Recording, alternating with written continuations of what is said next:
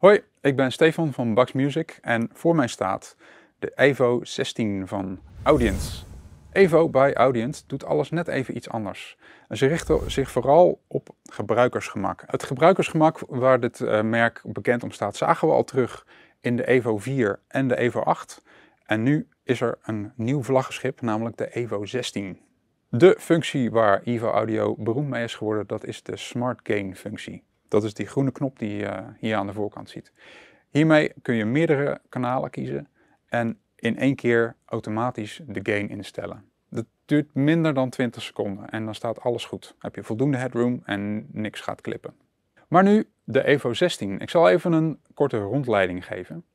Uh, deze audio interface heeft acht analoge ingangen. Uh, twee daarvan zitten aan de voorkant en die zijn geschikt voor microfoonsignalen, lijnsignalen en instrumenten.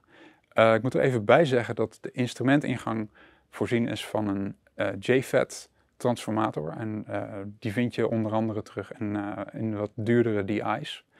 de andere zes ingangen die vind je aan de achterkant. En die zijn geschikt voor microfoons en lijnsignalen. En dan de analoge uitgangen.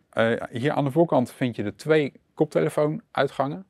En aan de achterkant vind je nog acht analoge lijnuitgangen. En die kun je onder andere gebruiken voor je speakers of voor nog meer Q-mixes voor muzikanten. Naast de analoge in- en uitgangen kun je de Evo 16 ook uitbreiden via ADAT.